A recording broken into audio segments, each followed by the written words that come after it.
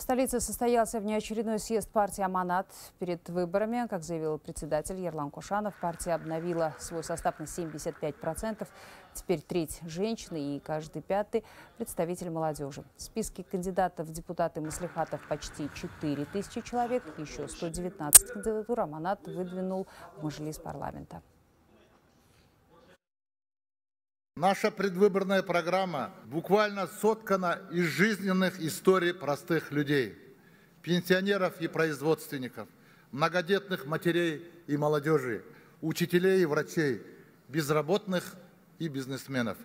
Поэтому ее сердцем стали понятные и обычные желания казахстанцев.